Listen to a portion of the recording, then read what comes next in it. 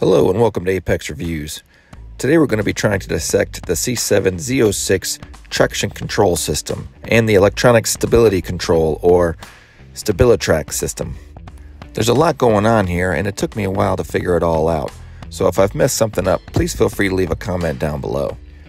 Let's start off with the traction control system or TCS.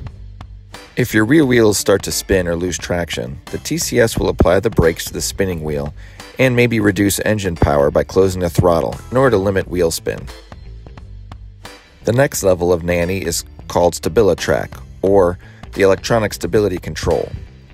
It activates when the vehicle senses a difference between the intended path and the direction the vehicle is actually traveling. StabiliTrak applies the brake to any one of the four wheels in order to keep the driver moving in the direction of intended path. All of the features we're going to be talking about today are controlled through the mode selector knob and the TCS on off button in the middle of that knob. If you're looking to do some burnouts, you're going to need to turn your traction control system off.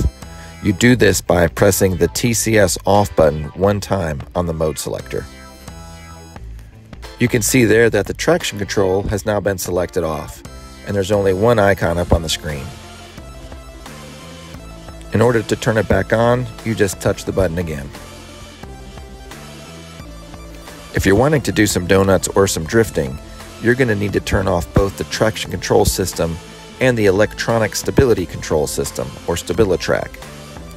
You do this by pressing and holding the TCS off button for at least 3 seconds. You'll then get two lights up on your dash, one for the traction control and one for the StabiliTrak.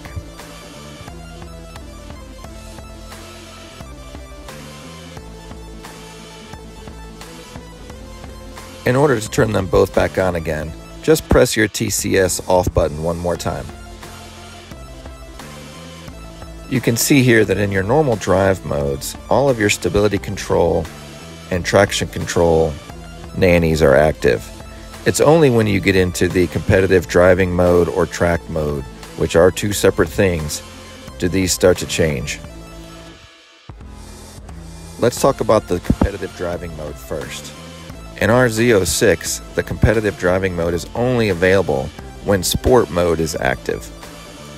It won't be on when you go into track mode.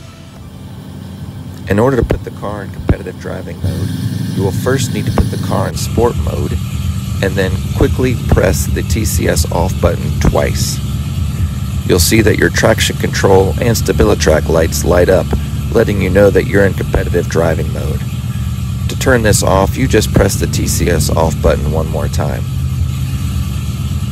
If you were to try doing this in a normal mode, such as touring, eco, or weather, all you'd be doing is turning the TCS on and off. The competitive driving modes allow you to apply full throttle as you're exiting a turn, and StabiliTrak and the vehicle will determine how much gas to actually give you in order to keep your car accelerating out of the turn without losing control. You can further break down the competitive driving modes and the way the performance traction management handles the car by going into track mode. There are five different performance traction models within track mode, not including the launch control. In order to select one of the five different performance traction profiles, select track on the mode selector and then quickly press the TCS off button twice.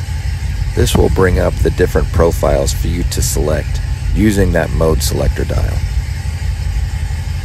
A description of what each of the profiles will do is located in the driver's manual.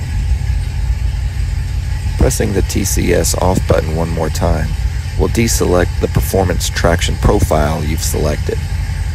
From there, you can use your mode selector to move between car modes as you normally would.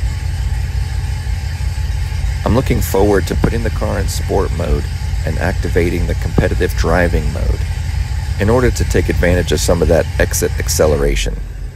I'm interested to see what the car is going to do. If you've had experience with this, please leave a comment down below. And as always, thanks for watching.